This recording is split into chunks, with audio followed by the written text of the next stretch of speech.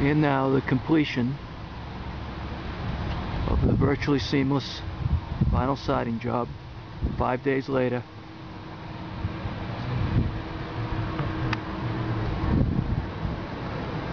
As you can see, very, very few seams.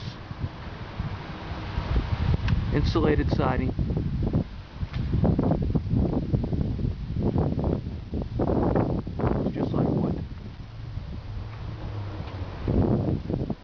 Last back side.